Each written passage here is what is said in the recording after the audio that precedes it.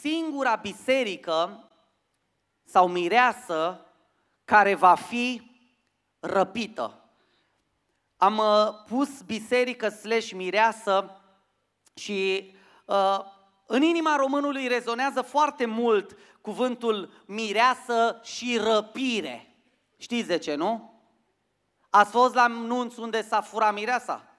Ați fost la nunț de pocăiți unde s-a furat mireasa? Și la noi se fură mireasa. Vorba unuia, cu atâtea telefoane pe masă și se fură mireasa. Și tot un român a scos-o și pe asta, da? Uh, e obiceiul acesta, un obicei de altfel care a fost păgân, uh, furatul miresei era chiar ceva tragic, pentru că uh, mai ales în zona unde existau regi, mai ales în zona Angliei, de acolo vine obiceiul acesta, se obișnuia ca miresele sătenilor să fie răpite de nobilii sau uh, regii zonei care își abrogau anumite drepturi față de mireasă.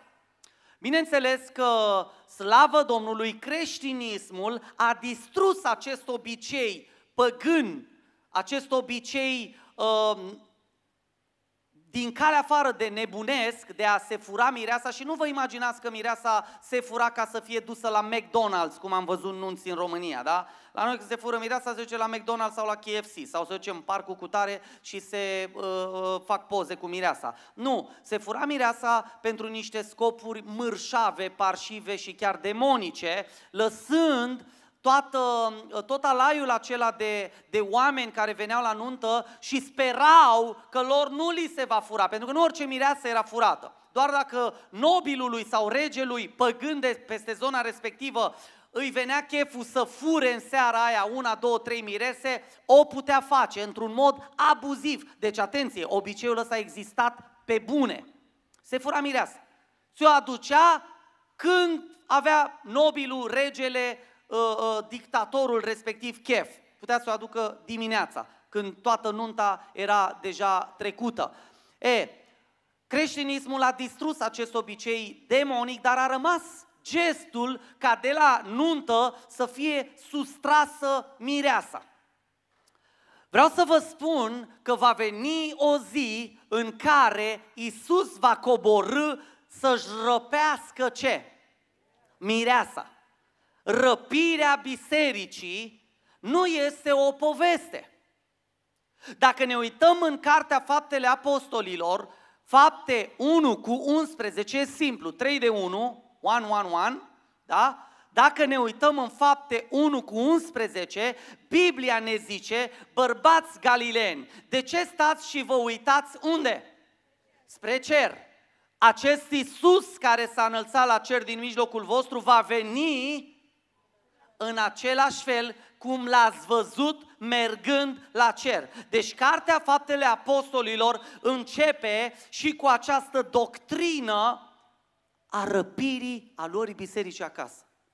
Ne spune că Isus va coborâ cum a plecat. Cum a plecat Isus, oameni buni? Cu trenul, cu avionul, cu ce a plecat? S-a înălțat la cer. Câți credeți în minunea asta? Câți credeți că minunea asta se va repeta? Aleluia, glorificat să fie Dumnezeu. Unii încearcă să, uh, auzisem un predicator la un moment dat care zicea, domnule, lăsați-mă cu răpirea asta bisericii uh, care este o găselniță americanească. Nu! Îl vedem pe uh, apostolul sau scriitorul Luca, marele uh, ucenic al lui Isus Hristos. Da, într-adevăr, nu este dintre cei 12, dar a umblat cu cei 12, a umblat uh, uh, cu precădere cu apostolul Pavel, ales și chemat de Isus Hristos, îl vedem pe apostolul uh, Luca scriind despre răpirea bisericii și îl vedem mai apoi pe Pavel în 1 Tesaloniceni, capitolul 4, reluând acest subiect al răpirii bisericii. Și acum vreau să vă întreb, care credeți voi că este biserica aceea care va fi răpită la cer? Care credeți că este biserica aceea? Unii ar spune, s-ar bate cu pumnul în piept și ar spune, ortodoxi sunt. Românii ar spune, noi ortodoxi suntem singura biserică care vom fi răpită la cer sau răpiți la cer. Unii ar spune, dacă te duci în uh, um, America de Sud, în America Latină, te duci acolo la uh, brazilieni, ei vor spune, catolicii sunt singurii care vor fi răpiți la cer. Dacă te duci uh, în America Centrală, unde neoprotestantismul este uh, uh, general, să spun așa, sau în mare parte, vor spune, nu știu, uh, baptiștii, penticostalii, dacă te duci în uh, alte țări unde iarăși uh, predomină neoprotestantismul, iarăși penticostalii vor spune, noi suntem singurii, alții nu. Ceea ce este total greșit, din calea afară de greșit. Mireasa lui Isus Hristos care va fi răpită la cer nu va avea nicio etichetă omenească nu se va face rând așa, hai, uh, uh, ortodoxii, faceți grup în linie toți, hai, intrați. A, mai e vreun ortodox? Unu, doi, trei, au intrat toți. Hai, penticostalii, gata. A, nu, iert, iertați-vă, catolicii. Catolicii, linie așa în linie, toți intrați. Mai e vreun catolic? Păi ăștia duceți mai în dreapta așa. Mai ai vreun pentecostal? Mai ai vreun... Nu așa stau lucrurile cu privire la Biserica lui Hristos. Nu vom fi luați după etichete. Etichetele pot fi bune, pot fi rele, în funcție de cât au, nu știu, scos din Scripturi sau adăugat la Scripturi. Da? Uh, chiar mă întrebau mulți, domnule, dar de ce sunt așa de multe etichete în creștinism? Sunt pentru că multe dintre aceste etichete sunt fie doctrinare, fie administrative. Este diferență între etichetă doctrinară și etichetă administrativă. Care este, nu știu, problema cu doctrina? O etichetă doctrinară este cea care a scos sau a adăugat doctrinar o etichetă, de exemplu, uh, și nu știu, puteți să-mi dați o grămadă de, de adăugiri la scripturi. Acolo e o problemă. Când eticheta religioasă este doctrinară, când vezi că s-au scos sau s-au adăugat, când unii au scos botezul cu Duhul Sfânt, când au scos darurile Duhului Sfânt din biserică, acolo e o problemă. Eticheta respectivă are o problemă, îi lipsește ceva când s-au adăugat cultul morților, când s-a adăugat tot felul de lucruri care nu se găsesc în Scriptură, cum am scris, de exemplu, zilele trecute despre pomeni. Pomenile nu sunt Biblie, e adevărat da sau nu? E o problemă doctrinară. Închinarea la morți nu e în Biblie. Închinarea la uh, uh, cadavre, fie și de sfinți, nu este în Scriptură. Da? Acolo sunt probleme și deficite doctrinare. Etichetele administrative pot fi anumite mișcări o mișcare creștinească. De exemplu, haideți să vă zic un lucru. John Wesley, cine știe ce mișcare creștinească a generat John Wesley? Cine știe? Mulțumesc! Cine a zis? Dumnezeu să te binecuvinteze. Ai fost la școală de predicare, nu? Se vede. Metodismul, John Wesley.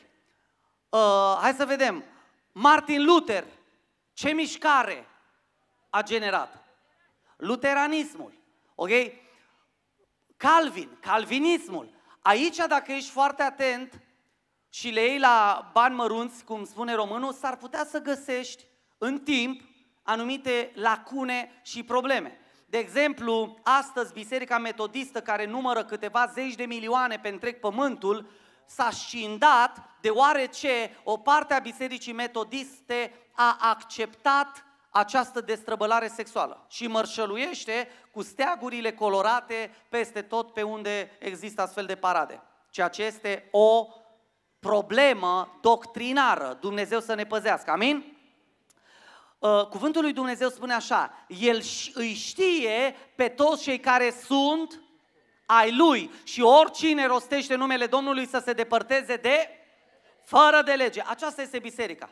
El îi știe pe cei care sunt ai lui și cei care sunt ai lui se depărtează de fără de lege. Ok, biserica care va fi răpită sau mireasa care va fi răpită este aceea care rămâne fidelă separării de lume. Observ și la Biserica Profides vin foarte mulți oameni cu entuziasm. Uh, deja uh, la mine s-a tocit chestiunea asta, văd entuziasm. La început uh, entuziasmul unora mă dădea pe spate. Acum am, încer- am, am început să-l iau așa cu lămâie. Știi? Îl iau cu lămâie. Să nu mi se aplece de prea mult entuziasm din partea unora. Frate, vin! Wow! Cât de tare! Dăm de ceva de făcut! Vreau să fac! Îi văd aici! Îi văd prezenți! Îi văd că vin de la nouă la biserică! Trece o lună, nu și un sfert.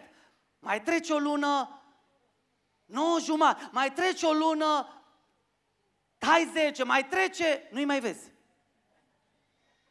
De-aia iau lămâie.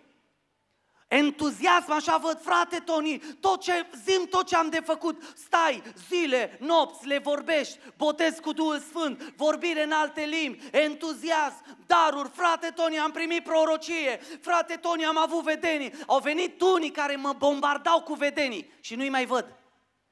Mă, nu-i mai văd, botezați cu Duhul Sfânt, văzători, proroci și nu-i mai văd.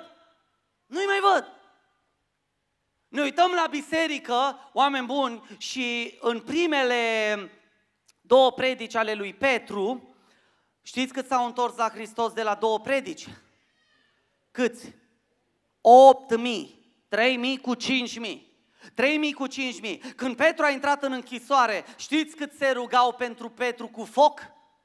Știți cât s-au rugat pentru Petru cu foc? Și au stat în stăruință pentru Petru cel prin care a venit mântuirea și salvarea lor, bineînțeles, propovăduită că mântuirea și salvarea a venit prin Hristos. Știți câți au stat în rugăciune? Șapte zile pentru Petru? Zice că erau adunați în camera de sus. Câți încăpeau în camera de sus? Cine știe? În ziua cinzecimii când a coborât Duhul, câți erau? În jur de 120. În aceeași cameră de sus erau și în mijlocire pentru Petru. Unde erau restul? Unde erau cei 8000? Nu ne spune Biblia că erau, nu mai aveau loc în camera de sus și că au trebuit să închirieze un spațiu să se adune 1000 sau 500 sau, hai, 200, măcar cu 80 în plus.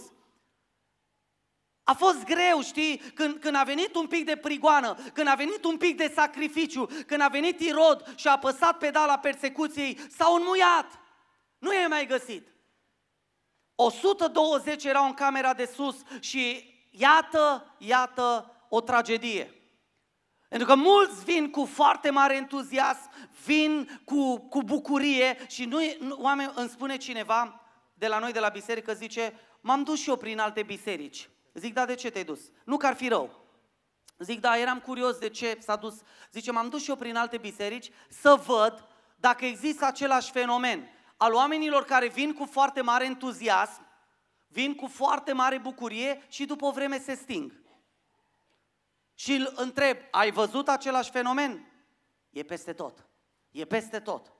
Și este de pe vremea Domnului Isus, de-aia vă zic, voi care sunteți astăzi în biserică, sunteți niște supraviețuitori. Sunteți niște luptători, glorificat să fie Dumnezeu. Sunteți niște oameni care ați trecut prin multe, enorm de multe, dezamăgiri, din stânga, din dreapta, atacuri, persecuții, familii care v-au persecutat, poate soți, soții, copii, nu știu cine v-a mai persecutat. V-au hulit neamurile. Satana v-a atacat și v-a hărțuit, dar ați supraviețuit și sunteți aici. Glorificat să fie Dumnezeu. Amin? Glorificat și preamărit să fie Dumnezeu. Amin. Matei uh, 13, de la, 20, de la uh, 22, pare mi se Andrei, sămânța care a fost semănată, spune așa cuvântul Domnului. Hai să vedem dacă e aici.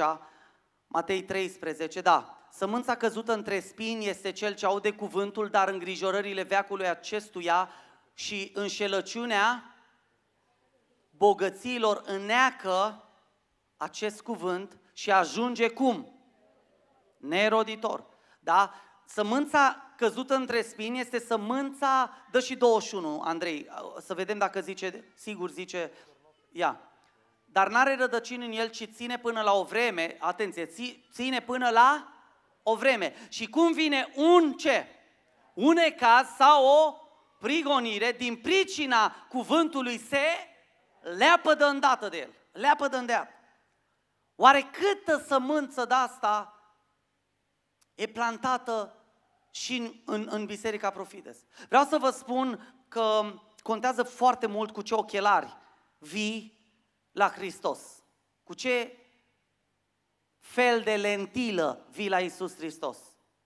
Pentru că vreau să vă vorbesc cu unul, de unul care a venit la Isus Hristos, care avea pe lentila lui, pe lentila credinței, banul.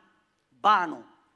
Ați văzut, uh, circul acum, că eu sunt uh, modern așa, mă uit, uh, cum spunea Spurgeon, cu un ziar în mână și cu scriptura în cealaltă mână. Și uh, i-a luat interviu unei doamne, uh, o doamnă de asta mondenă, nu știu cine este, uh, și a fost întrebată, uh, tu ai acceptat ca soțul tău să te înșele? Și a zis, da, pentru că soțul meu are multe alte calități. Și cineva a făcut o parodie după așa ceva și în lentilele ochelari, ochelarilor a băgat foarte multe bagnote. Știi? Ale erau calitățile. Da, aș accepta ca soțul meu să mă înșele și băga bagnote, așa, bani, pentru că soțul meu are alte, alte, multe calități. Și calitățile erau banii. E, a venit unul Festus, nu, Felix, pardon, Felix, să-l asculte pe Pavel, care Pavel a fusese adus uh, să, la judecată la Felix și Felix ăsta pe lentilele de ochelari avea doar bani. Atenție că pe lentilele de ochelari poate să fie desenat un soț. Un soț. A venit un tânăr azi dimineață la mine foarte entuziasm, entuziasmat și îmi zice, frate Tony, sunt foarte fericit și mă bucur pentru el, chiar mă bucur pentru tine, fi binecuvântat, mi-am găsit nevastă în Biserica Profites. Ce bucurie mai mare ca asta! Na, na! Mă, veni și tu la biserică ca omul și pleci cu nevasta. Ce bucurie mai mare! Îți dai seama? Băi, e mare lucru, e extraordinar. Dar știți care e problema? Problema este când uh, vii pe lentil așa e desenată o domnișoară, cam cum ai vrea-o, și tu nu-L mai vezi pe Hristos dincolo de această împlinire a dorinței. Poate ai nevoie de sănătate și ai venit la biserică să primești ce? Să nu-i greșit. Dar după ce ai primit sănătatea, tu nu mai vezi dincolo. Ai primit sănătatea, gata. Ai primit nevasta, gata. Ai fost eliberat de depresie, gata. Ai primit jobul ăla pe care l-așteptai, gata. Felix a irosit doi ani din viața celui mai mare predicator degeaba. Voi vă dați seama cât de condamnat va fi Felix ăsta în iad, că lui s-a predicat doi ani de zile. Cel mai mare predicator din lume, Apostolul Pavel, care când predica se întorceau, nu știu, biserici întregi la Hristos. Hai să vă și citesc, că vă uitați așa, unii vă uitați la mine, mă, unde ai citit asta în Biblie? V-am văzut. Nu sora Mirela, a, nu, îmi pare rău. Se uita sora Mirela așa la mine de... Am citit în ochii ei, citește-ne de unde, frate Toni? Ia să vedem noi sora Mirela. 26, 23, uite, sora a găsit deja. Ok. Dăm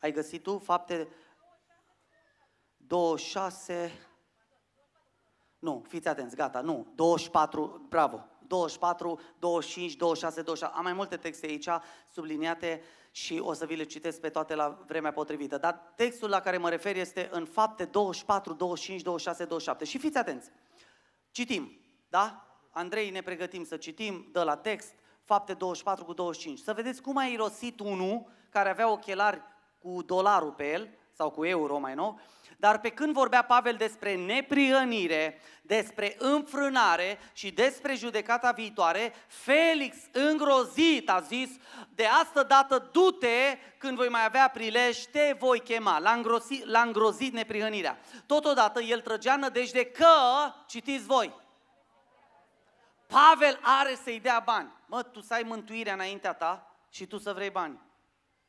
Poate mă mituiește ăsta cu ceva să iasă din închisoare. Voi vă dați seama, tu să ai mântuirea înaintea ta și pe tine să te intereseze banii. Transpunând la viața de astăzi, tu poți veni la biserică pentru un bun vremelnic și odată ce ai obținut bunul acela vremelnic, să te lepezi de Hristos, să nu mai ai nevoie de Hristos. Am văzut tineri în biserica asta care și-au luat fete și nu i-am mai văzut. Era unul care era în toate grupurile, era în misiune, era la foto, era la video, era la um, uh, uh, staff, bă, era peste tot. S-a însurat, nu l-am mai văzut. Nu, e acasă acum. Pro, tragedia știți care este? Că e divorțat. Tragedia este că e divorțat. O lună de zile după nuntă era să fac accident. Că de asta zic, de asta zic, vorbeam cu Gabriel astăzi. Măi, măi Gabrielo, cum să facem, măi Gabrielo? Cum să procedăm? Era să fac accident, am gonit mașina, am rămas pe autostradă fără motorină, că n-am avut timp după slujbă, am fugit să, să, să, să, să, să fac, uh, uh, nu știu, așa, așa îmi pompa inima, pe autostradă pe la kilometru 70 rămân fără motorină, mi se aprinde în bord, uh, prima oară când am văzut la mașină, uh, Glimsing mod, habar n-am ce la, nu mă întrebați, ci că mergea din oficiu. Cred că însemna, acum mergi prin har. Cred că, e, cred că e o mașină de pastori, ăla de la când mi-a vândut mașina, zice, ești pastor, da, tu ai nevoie de har, frățioare. Și mi se aprinde, ă, o vreme am mers pe, că nu, nu era PECO, e pe autostrada asta București-Ploiești unde nu există PECO și uh, pe la kilometru, nu știu ce, 20-30 cum am intrat pe autostradă, rămân fără motorină. Mai merg o vreme, cerea motorină. Eu o goneam, nu puteam să merg încet. Îmi zice mașina, mergi mai încet că mi-o consum pe toată. Mi se aprinde la un moment dat Glimsing mod și nu mai puteam să o accelerez. Mergeam așa, păr, păr, păr, păr, păr, păr. M-am rugat, am zis, Doamne, te rog în numele Tău, am o nuntă de făcut, în numele Tău am o nuntă de făcut. Am ajuns cu inima așa. Când am urcat la amvon, eram cea de... Am ajuns. Deschideți cuvântul Domnului. Era un pic, lăsați-mă un pic. Mă le-am dat binecuvântarea și nu i-am mai văzut. Nu i-am mai văzut. Și după aia primesc un mesaj. Suntem în divorț. Dar unde ați fost până acum? De ce nu v-am mai văzut? Unde v-ați ascuns? De ce ați fugit de biserică? De ce ați fugit de Hristos? Oare n-ai avut ochelarii aia că tu ai vrut, ai vrut nevastă? Oare n-ai avut râvna aia pentru că tu ai vrut sănătate, că tu ai vrut bani, că tu ai vrut ca Dumnezeu să te ajute? Ai crezut că Dumnezeu e ca lampa lui Aladin? O freci, o freci, o freci la un moment dat iese Dumnezeu și te întreabă așa plictisit, ce vrei mă? Nevastă, ai răbdare. Și după ce ai primit nevastă, gata, Doamne, hai, la revedere, intră în lampă la loc. Nu e așa cu Dumnezeu, e adevărat da sau nu? Dumnezeu să ne ajute oameni buni. Festus a irosit doi ani, din, nu Felix, Felix a, a irosit doi ani din viața celui mai mare sfânt, că pe el îl interesau banii. Eu vreau să vă întreb, ce vă interesează pe voi de veniți la biserică? Ce vă interesează? Mântuirea sau altceva? Spuneți-mi că am și o timp, am și o familie, am și o viață, am și o inimă care îmi bate, am și o vene pe creier, le-am simțit de câteva ori, am și o tensiune, am și eu viața mea și vreau în numele lui Isus Hristos să o cheltui cu cel mai mare drag pentru oamenii interesați de Hristos. Amin. Amin. Nu fi un Felix nu fi un tânărul despre care ți-am dat exemplu, pentru care să ne rupem gâtul și după aia să, nu, să nu-l mai vedem. Dumnezeu să ne ajute să-L căutăm cu toată râvna. Amin? Felix, nu fi un Felix. Hai să-ți mai dau unul. Hai să-ți mai dau unul. Agripa, da? V-am zis că vă mai dau texte. Fiți atenți. Ăsta a venit, avea ochelari, uh, el n-avea nevoi. E un alt specimen. Unii vin la Hristos pentru nevoi, neveste, afaceri, ă, bărbați, sănătate, vindecare, după care nu ne mai trebuie Hristos, că le-am primit pe toate, intră Hristos în lampa lui Aladin, că ne-am săturat de pocăință, de acum ne descurcăm singuri. Ăsta a venit la Hristos altfel și dă-te rog frumos, Andrei, la fapte 25 cu 23. A auzit Agripa, regele Agripa, regele peste Palestina, era mare satrap peste toată Palestina, și a auzit Agripa asta că e unul care predică Evanghelia. E unul, au venit astăzi dimineață niște oameni la mine și am auzit aici o biserică unde se predică cu foc Evanghelia. Am venit să te ascultăm. Eram foarte curios să te vedem și să te ascultăm. Oameni buni, dacă ați venit să ascultați Evanghelia, dați-vă jos de la ochi ochelarii ăștia ai mândriei Noi am venit ca cineva la Hristos. Noi avem alt statut. Noi nu suntem ca ăștia care n-au trei chiftele în stomac. Noi nu suntem ca ăștia care n-au nicio haină de firmă pe ei. Noi nu suntem ca ăștia simpli. Noi suntem cineva. Noi avem mașini, noi avem case, noi avem business-uri, noi avem importanță, noi avem pile. Noi suntem cineva. Fiți atenți. A doua zi, deci, Agripa și Benerice au venit cum? Eu am subliniat cu cu două linii și am făcut pătrat dreptunghi în dreptul acestor cuvinte. Cu? Ah, fală, tată. Noi intrăm în biserică altfel. Noi avem alte figuri și pretenții. La noi Hristos trebuie să vină așa în genunchi și să ne zică Bine ați venit, vă așteptam. Oh, câtă nevoie aveam de voi, eu, Iisus. Ce vreți să vă fac? Unii vin la biserică și vor să aibă atitudinea asta. Pe noi trebuie să ne servească, pe noi trebuie să ne trateze altfel, pe noi trebuie să ne bage în seamă. Noi venim cu multă fală la Hristos. Lasă fala la ușă, în numele lui Isus Hristos, amin? Lasă figurile, lasă mândria, lasă toată mândria aia luciferică și demonică, pentru că la Hristos trebuie să vii în genunchi. Amin? Lasă figurile, a, noi mirosim a Chanel. Era, știi, moldovenii. Era un antren și zice, eu miros a Chanel. Și uh, moldovean că zice, și eu miros, uh, uh, miros a oaie.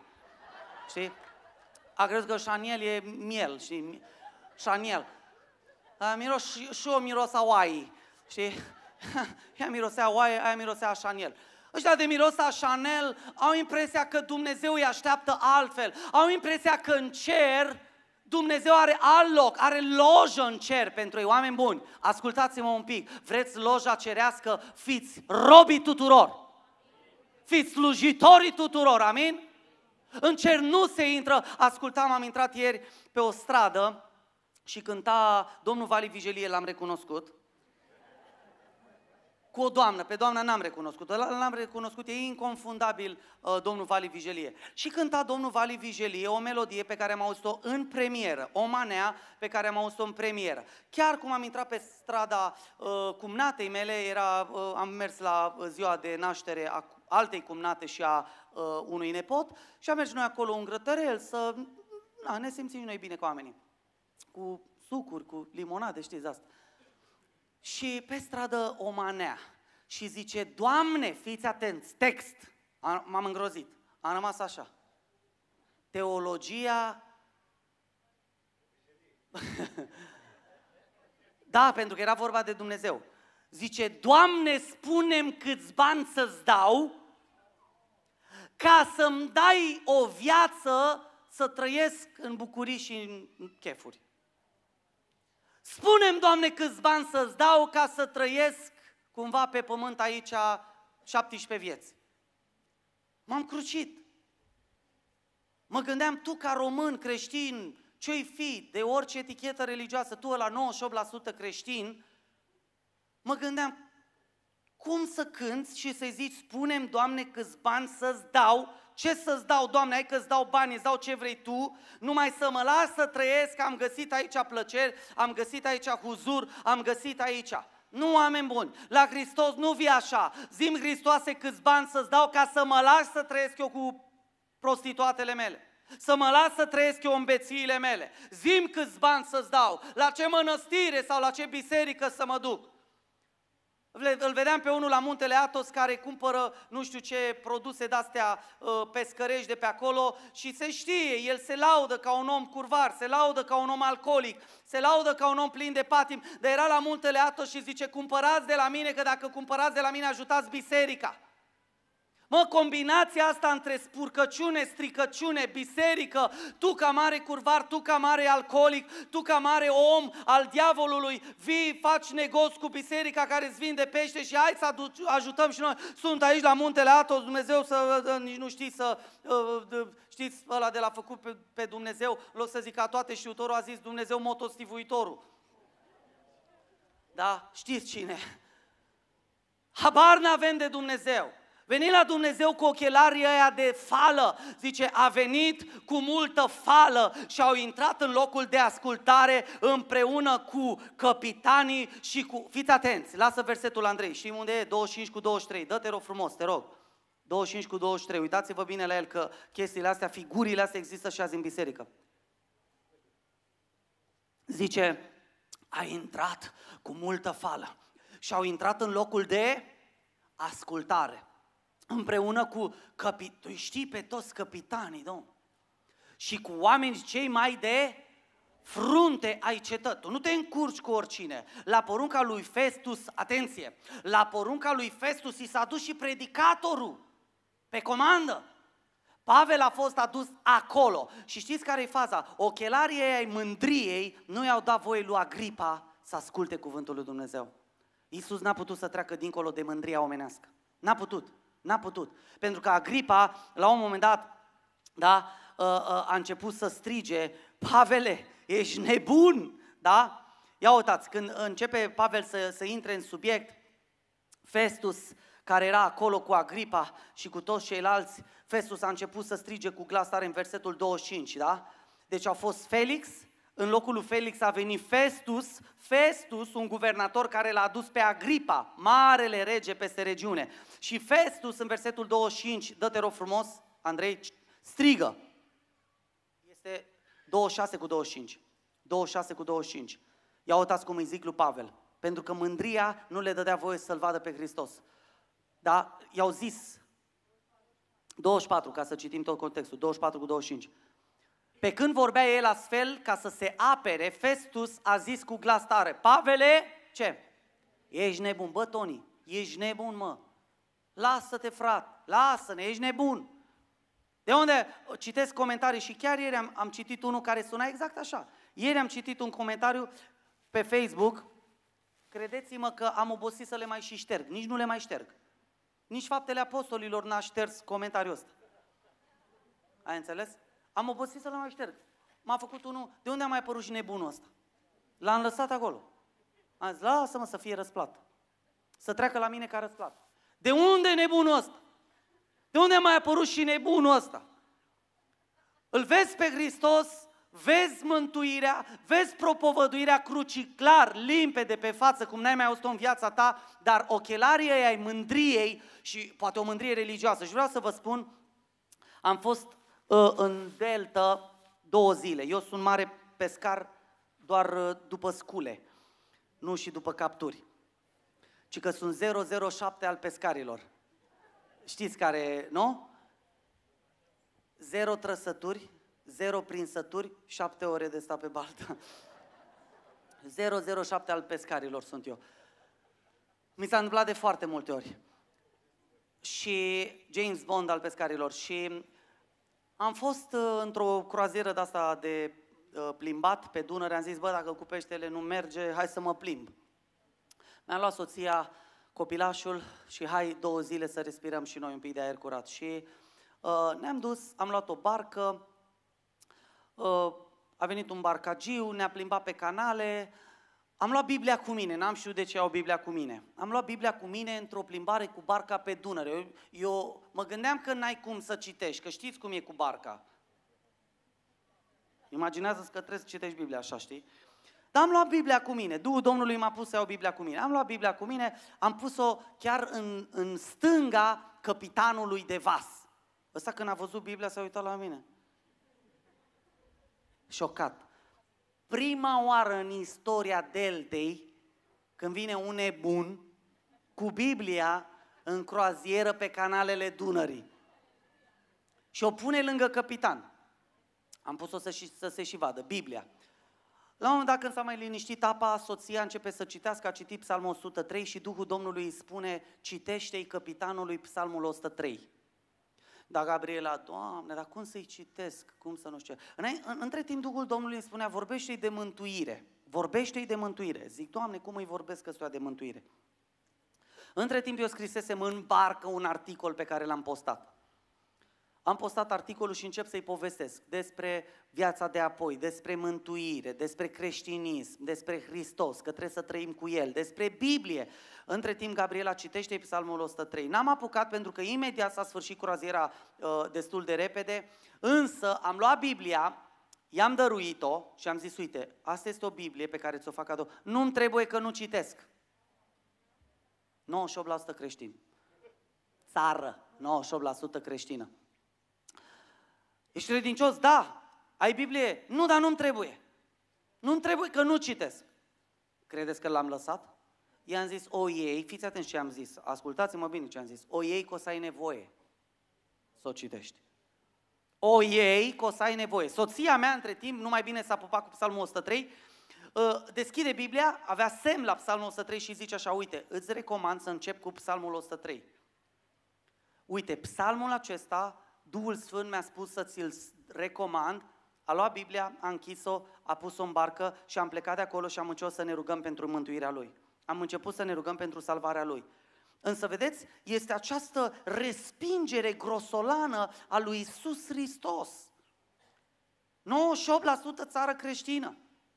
Toți cred în Isus Hristos. Și tocmai discutasem cu el, fiți atenți, și părea foarte pătruns de ce îi spun, că văzusem pe plajă niște oameni care chefuiau, cu grătar, cu alcool, cu manele, chefuiau acolo. Și am spus, dacă te duci la oamenii aia pe barcă, acolo, de pe barcă, te dai jos și te duci la oamenii aia și întrebi dacă sunt creștini, vor spune da, te vor lua și la bătaie că i-ai întrebat așa ceva. Cum să-ți permiți tu, în timp ce îl asculți pe Vali Vigelie care zice, Doamne, îți dau bani să mă lași în pace? Trăiesc 17 vieți? Cum să-ți permit să mă întreb dacă sunt creștin? Normal că sunt creștin, m-am născut din moș strămoș creștin. Și zic, uite, dacă te duci la ei, uite ăia care stau acolo și... Da, el dădea din cap. Da, da, da, da. Și când, am, când i-am dat Biblia, n-a vrut. I-am băgat-o cu forță. I-am zis, ia-o că o să o citești în numele lui Isus Hristos. Ai ochelari de, de, de, de mândrie luciferică și Dumnezeu în numele lui Isus să te elibereze de mândria asta. Amin? Ok, trec mai departe. Este biserica aceea care rămâne fidelă comunității. Nu poți fi răpit la cer dacă tu nu aparții bisericii lui Isus Hristos. Dacă tu n-ai înțeles după un an, doi, trei, zece ani de biserică, tu n-ai înțeles că trebuie să faci parte din trupul lui Hristos. Nu, n-ai, n-ai, n-ai cum. Da? Spune cuvântul lui Dumnezeu în uh, fapte 2 cu 42, dă-te rog frumos, Andrei, să vedeți lucrurile, care, lucrurile în care ei stăruiau. Deci nu doar mergeau din an în Paște, că la noi creștinismul e din an în Paște. Știi, ăla de-a murit și a fost adus la biserică uh, și zice, o, oh, l-ați adus la biserică că uh, cât a trăinea Ion nu prea a fost la biserică. Zice, nici acum nu venea bre, dar l-am adus noi. Nici la înmormântare n-ar fi venit, dar l-am adus noi. Așa sunt, dar e creștin, 98%. Oameni buni, fiți atenți aici. Versetul 42. Ei ce făceau? Spune stare, vă rog.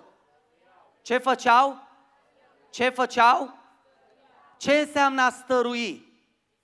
A insista. Cât? Ne zice timpul? Cât timp? Toată viața. Toată viața, neîncetat, toată viața. Stăruiau în învățătura apostolilor, în legătura, care legătură? În legătura frățească, că de-aia diavolul mustral ar Dumnezeu urlă împotriva prieteniei noastre, ați înțeles?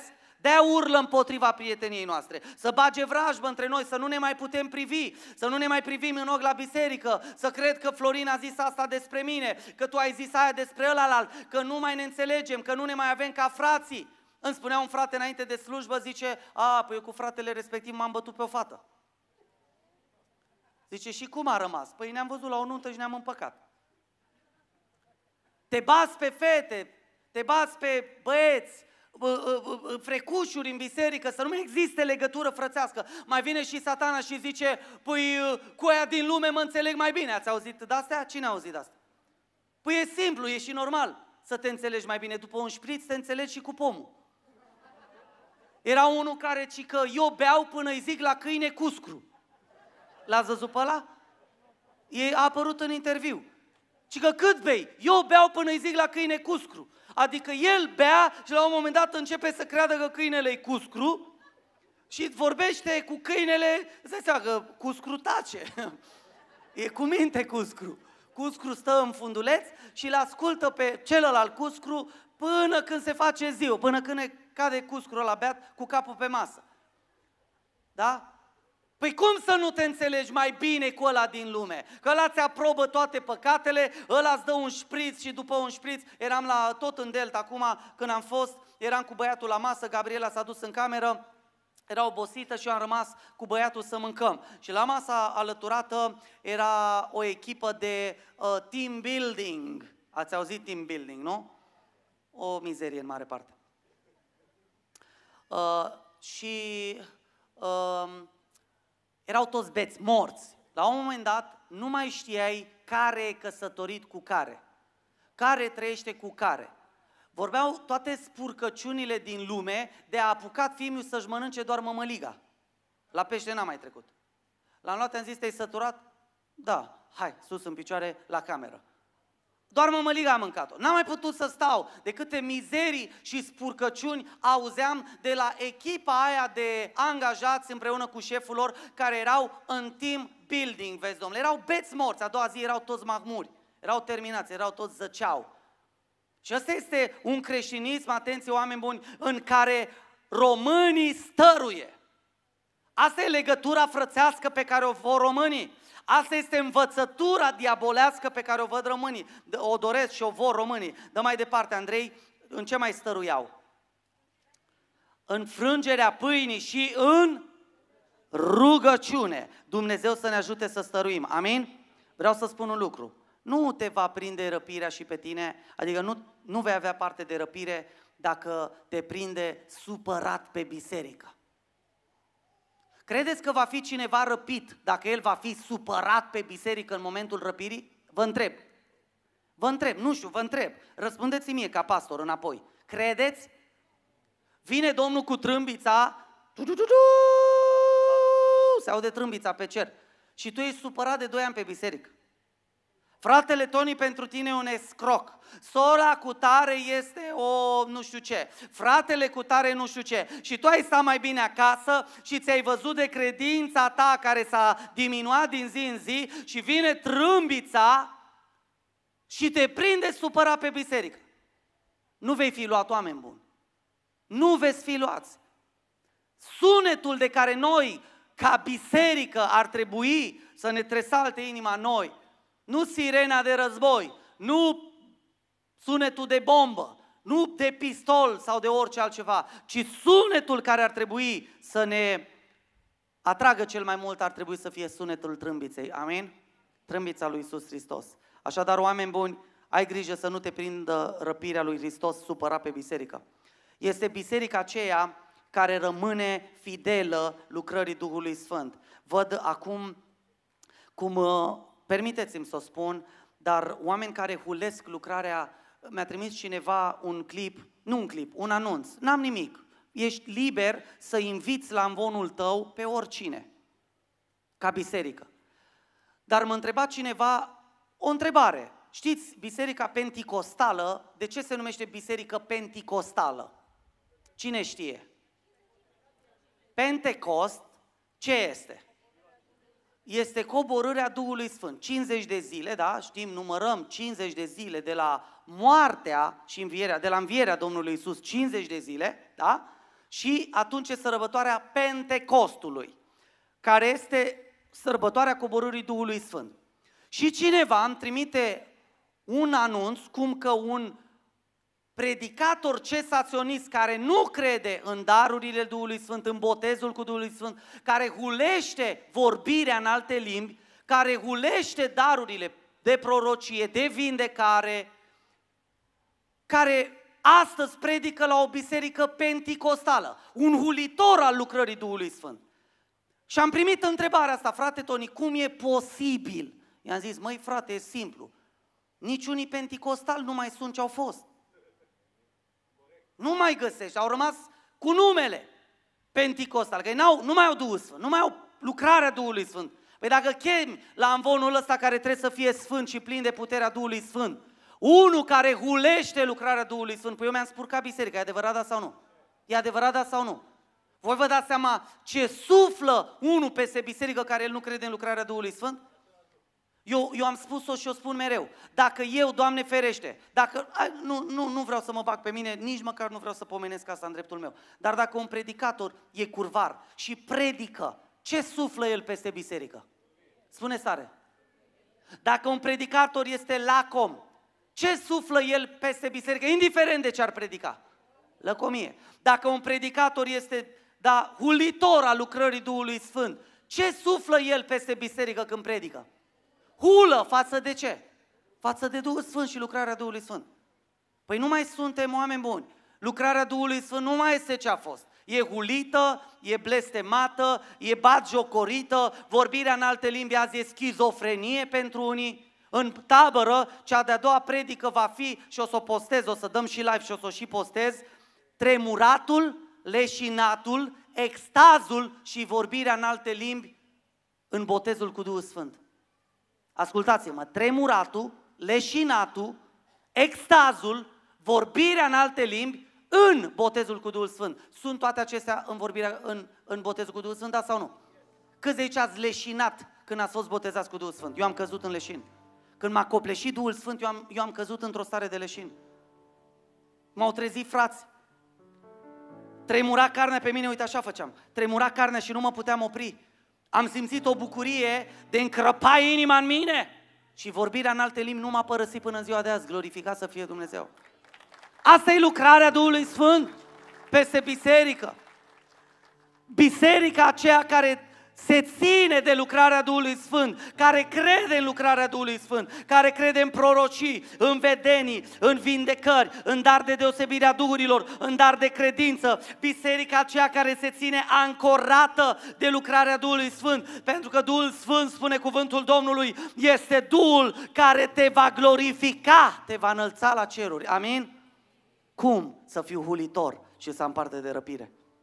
Eu vă spun că n-are cum. Eu vă spun că n-are cum. Și închei, oameni buni. Biserica aceea care va fi răpită este biserica care va lupta până la sfârșit să predice învierea morților. Oameni buni, vă dau un pont și vă învăț ceva. Cea mai bună metodă de evangelizare este să le spui oamenilor că vor muri și că vor învia. Vreți să vă dau dovezi? Cine vrea dovezi? Nu ajungi la inima omului niciodată mai ușor decât spunându-i așa din senin. În barcă, eram cu barcagiul și am spus, știi că după moarte nimeni nu te va mai putea ajuta prin pomeni? S-a uitat la mine, eram în stânga, s-a uitat la mine, opa, what's that? De ce îmi vorbește tipul ăsta? Câți ani ai? Îmi spune 37. Oh, super, și eu tot 37. Știi că vom muri? Și mai mult de atât, știi că vom învia? Și știi că în învierea de care cu toții vom avea parte, vom ajunge la judecată înaintea lui Dumnezeu și va trebui să dăm socoteală de tot ce am făcut? Este cea mai de impact metodă de evangelizare. Și ia uitați ce spune Apostolul Pavel răsfoim câteva cărți din Biblie și fiți atenți de ce era persecutat Pavel, de ce era dat la moarte în fiecare zi, de ce era arestat, de ce se, va, de ce se afla în arest înaintea lui Felix de cel puțin 2 ani de zile. Pavel o spune, fiți atenți, stați un pic, 24 cu 21. Ia uitați ce zice Pavel aici. Nu, 20 cu 21, să citim un pic contextul. 24 20 cu 21. Și țineți minte, până deschidem versetele, țineți minte următorul aspect. Cea mai bună metodă de evangelizare este să le vorbești oamenilor de moarte și înviere. Spune-le oamenilor verde în față, vei muri, dar nu vei rămâne în moarte, ci va trebui să învii. Vei învia pentru iad sau pentru rai, în funcție de ce lege. Acum, acum. Diavolul urla din toți strărunchii lui. Diavolul urla cu toată armata lui de demoni împotriva lui Pavel ca să nu vorbească despre ce? Învierea morților. Și citim, sau să spun aceștia singuri de ce nelegire m-au găsit vinovat când am stat înaintea soborului, afară numai, de, numai doar de strigătul acela pe care l-am scos în mijlocul lor. Și atenție aici, toată lumea să sublinieze în Biblie, toată lumea să sublinieze în Biblie versetul acesta Fapte 20, 24 cu 21 zice, pentru învierea morților sunt dat eu în judecată astăzi. Înaintea, pentru ce era dat în judecată? Pentru ce? Spuneți tare. De ce, oameni buni? De ce? Pentru că diavolul urla împotriva acestui adevăr. Că tu ai un suflet veșnic și că va trebui să dai socoteală înaintea lui Dumnezeu de el. Tu nu mori niciodată. Spune-le oamenilor cu care stai de vorbă, vecini, colegi, patroni, șefi, habar n-am cine sunt. Spune-le, am o veste pentru tine. Trupul ăsta va trebui să moară, dar tu de fapt nu mori niciodată, ci tu te vei chinui o veșnicie în iad sau vei trăi în glorie o veșnicie cu Dumnezeu. Alege astăzi. Alege astăzi. Pentru că Pavel zice, pentru învierea morților, pentru subiectul ăsta sunt dat eu astăzi în judecată. Și mai mult de atât, hai să vă mai citesc. Dă-te rog frumos, versetul din tot din 24 cu 25. Ia uitați. Ce-i predica apostolul Pavel lui Felix. Dar pe când vorbea Pavel despre, ziceți voi, despre, despre, următorul, despre, și trei despre, aici repetăm, despre ce? Despre ce? Judecata viitoare. De câți ani locuiești în apartamentul în care stai? Am o provocare pentru tine, biserică. Câți locuiți de 30 de ani într-o locuință? Mâna sus. Dumnezeu să vă binecuvinteze. Câți dintre vecinii voștri au auzit din gura voastră de învierea morților? Câți? Cu câți vecini ai vorbit și le-ai spus verde în față? Uite, vine spre tine. Salut, vecine. Salut. Ce faci? Ai timp un pic, 5 minute să predicăm Evanghelia? Ce faci, Mariana? Cum ești? Unde mergi azi? Azi, acasă o să merg. Azi, săptămâna viitoare? În Grecia. Ah, super, bravo. Auzi, vecine, tu ai, tu ai auzit de învierea morților? Da. Și ce zici de învierea morților? Păi mergem la vrăjitoare, întrebăm. Cu ei vorbim acolo. Da, nu, e, e, vecine, vreau să te anunț că e greșit tot ce gândești. Fii atent, vecine. Tu vei muri într-o zi și eu la fel. Nu te spăra pe mine, stai liniștit. O să murim amândoi într-o zi, dar vom învia și vom da socoteală înaintea lui Dumnezeu pentru tot ce am trăit pe pământul ăsta. Vreau să te întreb ceva, vecine. Tu unde crezi că vei ajunge în veșnicia de apoi? Te întreb așa, nu știu, poate te-ai gândit, poate nu te-ai gândit. Tu unde crezi, vecine? Unde merge toată lumea, merg și eu. Păi unde merge toată lumea? Adică tu, vecine, crezi că curvarul ăla de-a înșelat, ăla de-a mințit, ăla de-a furat, ăla pe care nu l-a interesat Dumnezeu, n-a mers odată să, nu știu, facă o slujbă, să aibă parte de... N-a citit odată Scriptura. Crezi că ăla care a fost plin de păcate, nu și-a cerut odată iertare de la Dumnezeu, a trăit în toate nelegiurile, ajunge la un loc cu ăla de s-a sfințit toată viața, tu crezi asta, vecine? După ce îmi fac ai mei pomeni, da. Aole. Vecine, hai, hai să-ți dau o altă veste. Nicăieri în Biblie, uite am o Biblie, o să ți-o fac astăzi cadou, intru în apartament și îți dau Biblia mea, promit. Dar ascultă un pic, nicăieri în Biblie nu vorbește despre pomeni, tu știai asta? Nu. Uite, zic eu, eu am citit Biblia de foarte multe ori și nicăieri în Biblie nu vorbește despre pomeni, ci din contră, vecine zice așa, astăzi, dacă auziți glasul meu, întorceți-vă la Dumnezeu și pocăiți-vă. Ce crezi tu că este pocăința? Ce e pocăința? Să-mi cer iertare. Bravo, uite, pricepem, super.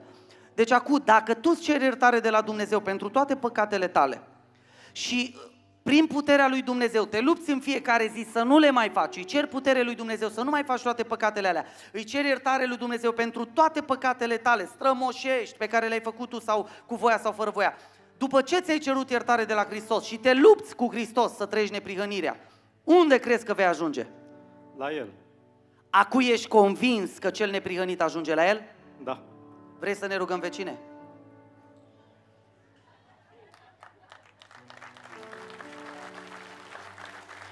Dumnezeu să te binecuvinteze, Marian. N-am făcut repetiții cu el.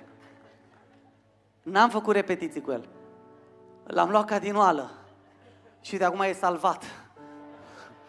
Slavă Domnului, e mântuit. Imaginați-vă că am purtat o discuție de 2-3 minute. Stai de 30 de ani în, în scara blocului, în bloc și n-ai vorbit. Stai de 2 ani, de 3 ani, mergi cu taxiul, mergi cu barca, mergi cu ce, ce oi merge tu și tu nu îndrăznești pentru că nu știi de unde să-l iei pe om, nu știi cum să-i spui. Iată că Pavel, apostolul Pavel zice, i-a vorbit lui Felix despre neprihănire, despre înfrânare și despre judecata de apoi. Spune-le oamenilor, de dreptate. Neprihănirea înseamnă dreptate, pentru că oamenii au spiritul ăsta al dreptății. Noi, domnule, vrem să fim conduși de conducători drepți. Noi vrem o Românie dreptă, noi vrem partide drepte, noi vrem președinți drepți, dar ei nu trăiesc în dreptate. Zile de dreptate, zile de înfrânare și apoi zile de veșnicie. Oameni buni, va fi răpită la cer mireasa aceea care predică învierea lui Hristos, învierea sfinților și domnia Sfinților împreună cu Hristos cel înviat. Haideți să ne ridicăm în picioare. Hai să ne ridicăm în picioare. Și ce aș vrea? Aș vrea să vă asigurați cu toții că sunteți salvați. Aș vrea să vă asigurați că nu aveți pe ochi ochelarii aceea ai lepădării de Hristos Vin la Hristos că vreau bani, vin la Hristos că vreau o femeie, vin la Hristos că vreau un bărbat, vin la Hristos că vreau sănătate. După ce m-a vindecat de cancer, nu mai am treabă cu El. După ce mi-a dat Hristos sănătate, nu mai am treabă cu El. După ce am venit cu entuziasm la Hristos și au venit încercările, și au venit prigonirile, și au venit tot felul de critici și tot felul de hărțuiri demonice sau umane, nu mai vreau, nu-L mai vreau pe Hristos. Aș vrea să te cercetezi în dimineața asta ce fel de credință e în inima inima ta. Dacă ai mândria aia, eu am venit la Hristos, dar Hristos are nevoie de mine, nu eu de El. Hristos are nevoie de banii mei, Hristos are nevoie de relațiile mele, Hristos are nevoie de mine. Dacă n-ai venit plecându-te în genunchi înaintea lui Isus, ai venit degeaba. Ai venit ca tânărul bogat, aproape și totuși atât de departe. Dacă nu vii la Hristos cu această dorință de a stărui în neprihănire, de a stărui în legătura frățească oricât de greu este, de a stărui în frângerea pâinii, de a stărui în rugăciune oricât de provocator este și dacă n-ai venit la Hristos cu dorința de a-i lua și pe alții cu tine în cer, ai venit degeaba. Cercetează-te, omule. Cercetează-te dacă ești cu adevărat biserica aceea care va fi răpită la cer. Cercetează-te dacă ești cu adevărat biserica aceea, pentru că îmi imaginam un lucru. Gândiți-vă la faptul că diavolul, noi ne, noi ne mișcăm în direcția opusă diavolului. Diavolul se duce unde? În ce direcție? Spuneți voi. În iad. Și noi unde mergem? Spre rai. Noi ne mișcăm paralel cu diavolul. Diavolul se duce într-o direcție cu îngerii lui și cu demonii lui și noi ne ducem într-o altă direcție. Dar noi avem autoritate și putere în timp ce ne ducem spre rai, în timp ce ne ducem spre Dumnezeu. Avem autoritate să luptăm cu diavolul. Avem autoritate să băgăm mâna în tabăra lui și să smulgem de acolo prinși de război ai diavolului să le spunem, știți unde vă duceți? Știți că vă duceți în aceeași direcție cu diavolul? Vă mai spun un lucru, o fază tare. Când am urcat în barcă, sâmbătă dimineața să o luăm spre București, cel care ne-a primit barcagiul, nu știu ce cu barcagii ăștia din Delta, dar e ceva ciudat cu ei. Pentru că barcagiul care ne-a dus la Tulcea avea pe tricoul lui pe spate, știți ce scria pe spatele lui? Am poză. Poate nu vă vine să credeți. Știți ce scria pe spatele lui? Gates to Hell. Gates to Hell. Era un tricou cu niște fețe de dragi pe spate, da, erau gravați pe spate și scria mare pe, pe spatele lui Gates to Hell și ăsta era capitanul bărcii mele și m-am gândit spiritual că noi de multe ori suntem într-o barcă condusă de unul care se duce spre Hell, spre iad și nu ne pasă. M-am înfiorat gândindu-mă că un volan de, de, de, de fier, că și barca aia avea volan. M-am înfiorat gândindu-mă că o barcă firească de, de, de aluminiu sau fibră de sticlă, de ce era de carbon, o barcă din aceasta pe care o poți atinge, are un capitan pe tricoul căruia scrie Gates to Hell. Tot timpul m-am rugat. M-am gândit dacă intră ăsta în altă barcă și mă duce... Doamne, salvează-mă. Tot timpul aveam scenarii în minte că cine știe o plezni barca și trebuie să not până la mar. Mă uitam după veste. Erau vestele atârnate așa într-o, într-o pânză de tavan. Mă gândeam pentru că n-am puteam să am încredere omenească, firească în unul pe tricoul căruia scria Gates to Hell. Dar vreau să te întreb un lucru. Tu ai putea să ai încredere în diavolul care merge spre iad? Ai încredere în el? Eu aș vrea să ai încredere în Hristos. Amin? Pentru că pe spatele lui scrie așa. Gate to heaven. Nu gates. Gate to heaven. He is the only gate to heaven este poarta, zice, eu sunt ușa, eu sunt poarta staulului, eu sunt singura ușă a raiului. Diavolul te minte care porți de atracție demonică, alcoolismul, tutunul, jocurile de noroc, mândria, răutatea, ura, tot ce este rău și demonic, acestea sunt porți spre iad și eu nu mă las condus de cel ce mă duce spre iad, ci eu mă las condus de cel ce mă duce spre rai. Aș vrea să-mi pun toată nădejdea în Hristos. Aleluia! Mai e cineva aici care vrea să-și pună nădejdea în Hristos? Mai este cineva aici care vrea să-L pună la cârma vieții pe Isus, pe spatele căruia scrie poarta spre rai. Eu sunt unica cale, eu sunt unica ușă, eu sunt unica salvare. Și aș vrea, când ieși din biserica asta, să vorbești cum ți-am arătat, să le vorbești oamenilor despre înviere, să le vorbești oamenilor despre viața veșnică, să le vorbești oamenilor că așa de mult îmi place versetul acesta care spune, a spune aici Apostolul Pavel, atât de minunat și asta este despre tine. Dă-te rog frumos, Andrei, la 26, de la 17 la 18, 26, 17, 18, spune așa, ia uitați aici, fapte 26, 17, 18, te-am ales pe tine, Tony, te-am ales vreau să-ți spui numele. Te-am ales și ziți numele. Te-am ales și zi numele tău. Te-am ales și zi numele tău. Și încă o dată, te-am ales pe tine, Tony. Te-am ales pe tine, cum te cheamă? Din mijlocul cui? din mijlocul norodului acestuia, din mijlocul neamului românesc și din mijlocul neamurilor la care te trimit, că vii din America, că vii din Corea de Sud, că vii din Spania, că vii din Germania, că vii din Anglia, eu te-am ales pe tine, Toni, pe tine, Andreea, pe tine, Ioana, pe tine, Mircea, pe tine, Marcel, pe tine, Alexandru, te-am ales ca să le deschizi ochii, să se întoarcă de la întuneric la lumină și de sub puterea satanei la Dumnezeu și să primească prin credința în mine ce? iertarea păcatelor și moștenirea împreună cu Sfinții. Te-am ales, dragul meu, te-am ales, draga mea, ca să-i scose sub puterea satanei. Tu ai autoritatea asupra diavolului care se duce spre iad. Tu ai putere să-i smulgi oamenii.